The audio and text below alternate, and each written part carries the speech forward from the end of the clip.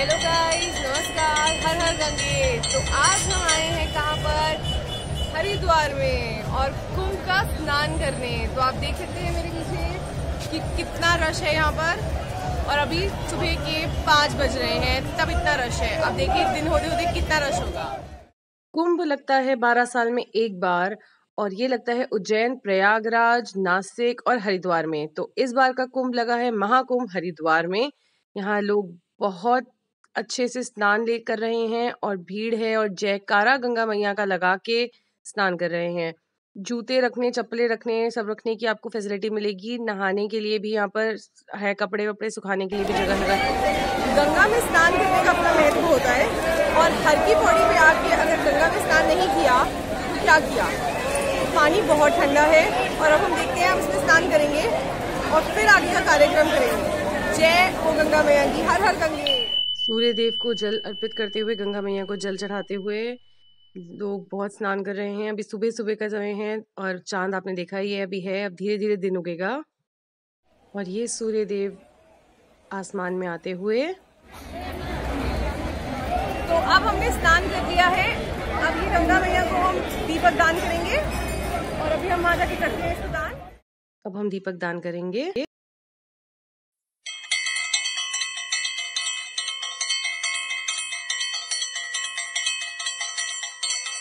हर की पौड़ी का जल बहुत पवित्र होता है, इसलिए हम कैनी ले रहे हैं बाहर भैया से और हम आगे बढ़ेंगे कैनी लेकर गंगा की हर की पौड़ी पर। यहाँ पे बहुत सारे मंदिर हैं तो गंगा मैया के भी बहुत सारे मंदिर हैं, सूर्य मंदिर, आपको हर मंदिर मिलेंगे, हर भगवान जी के।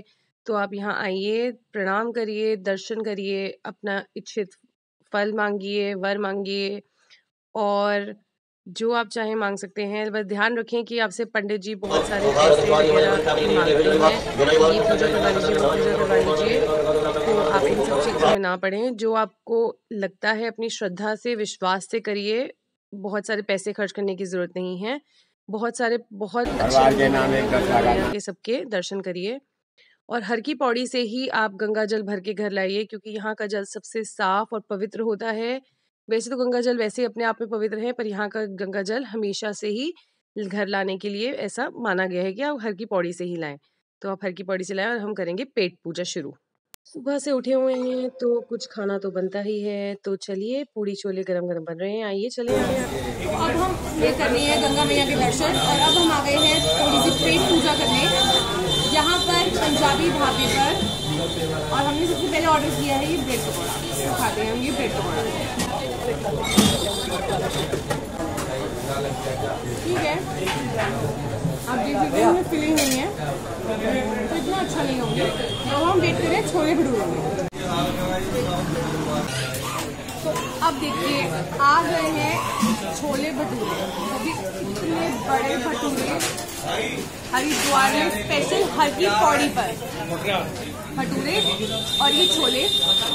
छोले के अंदर है आलू। तो हम इसको करने वाले हैं टेस्ट काफ़ी बड़ा भटूरा है.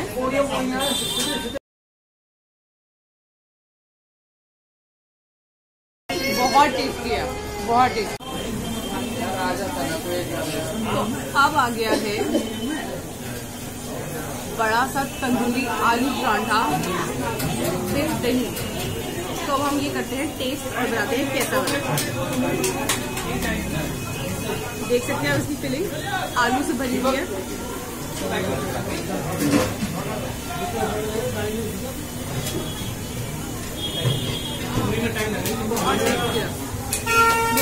बहुत है क्रिस्पी अच्छे से फिल्ड हुआ हुआ।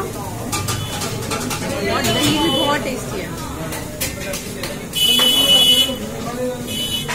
पेट पूजा के बाद हम आगे चलते हैं माँ मनसा देवी के तरफ़। मनसा देवी का पैदल रास्ता भी है, वो आपको एक से डेढ़ घंटा लगेगा पैदल चलने में। तो हम जा रहे हैं उरन खटोला से, यहाँ पर सब रेट्स दिए गए हैं। वन ट्वेंटी टू रुपीज़ है आने जाने की टिकट के पैसे। एक तो अब हम जा रहे हैं मनसा देवी उड़न खटोला में बैठकर।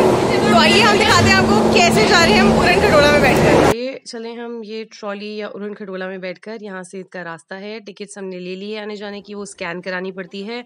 तो उसको संभाल के रखिए और बहुत अच्छा नज़ारा है बहुत मज़ा आने वाला है। चलिए देखते हैं कैसा है ये। और इसमें डरने की बिल्कुल बात नहीं है। हम पूरन खटोले में बैठ गए हैं और अब हम जा रहे हैं मनसा देवी की ओर अब मैं आपको दिखाऊँगी सारा ब्यूटीफुल ब्यूटीफुल नज़ारा मैं इंजॉय कर रही हूँ। व्यू गंगा मैया नीचे हैं पहाड़ियाँ हैं सुंदर सा व्यू है मज़ा ही आ जाता है तो ये हम उरन खटोले में बैठकर जा रहे हैं माँ मनसा देवी के मंदिर। इसमें आप सिर्फ़ पाँच मिनट में मनसा देवी पहुँच सकते हैं। बहुत ही सुंदर नज़ारे को देखते हुए हम चल रहे हैं मनसा देवी की तरफ़ और ये बहुत ही अच्छा और पवित्र स्नान है जहाँ आपको दर्शन करें माँ के और आपको आशीर्वाद ले अपना। जय माँ मनसा देवी। हम मनसा देवी के मेन एंट्रेंस से पहुँच गए हैं। अपने चपले जमा करवाइए। प्रसाद बहुत अच्छा मिलता है यहाँ पर। प्रसाद लीजिए और दर्शन कर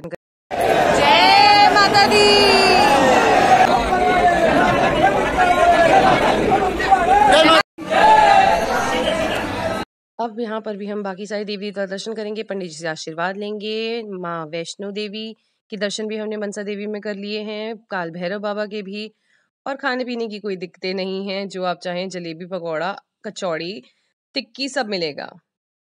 तो अब हम आ गए हैं हरिहर आश्रम में, जो भी हरिद्वार में है। और उत्तराखंड टूरिज़्म का बोर्ड लगा हुआ है क्या क्या देख सकते हैं आप यहाँ? हम आए हुए हैं महामृत्युंजय मंदिर में।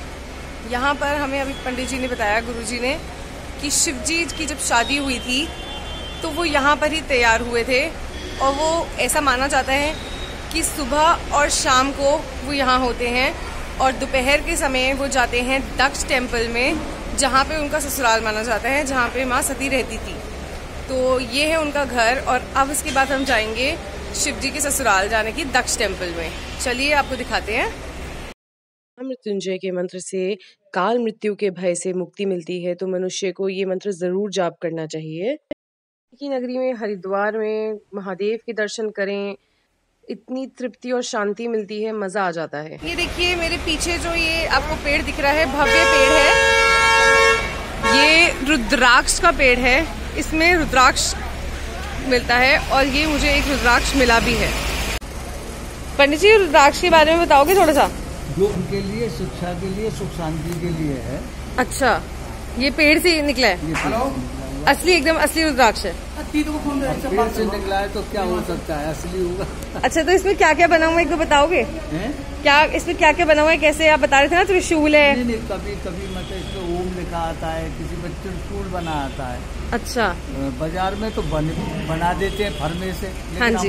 कुदरती पेड़ से बन के आता है। अच्छा कुदरती पेड़ से बन के हाँ। आता है। रुद्राक्ष तो बहुत सारे देखे होंगे पर ये सब असली पेड़ से उतरे हुए रुद्राक्ष है बिल्कुल असली। हम तो अब हम आखिरी में पहुँच रहे हैं दक्ष टेंपल जो कि है शिवजी का ससुराल और सती माता का जन्म स्थान यहीं पे उन्होंने शादी की थी शिवजी से और यहीं पर उन्होंने अपना शरीर त्यागा था। तो हमारी यात्रा हो गई है मंदिर हमने बहुत अच्छे दर्शन किए हैं और अब हम उड़न खटोला में बैठकर वापस जा रहे हैं हर की पौड़ी पर। तो आप भी आइए यहाँ पर हर की पौड़ी पर स्नान के लिए, खाइए, पिए और यहाँ पे मनसा देवी के मंदिर में मत्था टेकिए उरन खटोला की सवारी करिए। गंगे बोलिए जय मनसा देवी बोलिए और अपने तीरथ का आनंद उठाइए। और अगर आपको ये वीडियो अच्छी लगी हो तो लाइक सब्सक्राइब और शेयर करना मत भूलिए कमेंट करके बताइए। Thank you